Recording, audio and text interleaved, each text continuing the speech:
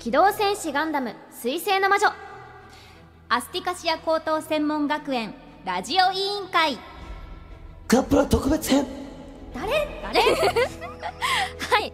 皆さんこんばんは。テレビアニメ「機動戦士ガンダム水星の魔女」スレッタ・マーキュリー役一ノ瀬かなです。皆さんこんばんは。はミオリネレンブラン役リンです。皆さんこんばんは。グエルジェット役の浅香良平です。はい代理の方が来てくれたようです。違う違う違う。特別。本物はかなちゃんしかいなかった。特別特別編なんでね。ちょっと特別感を出してみましたなるほどね。うんこれが特別か。誰？まあまあまあ。誰って言われてる。はい始まりました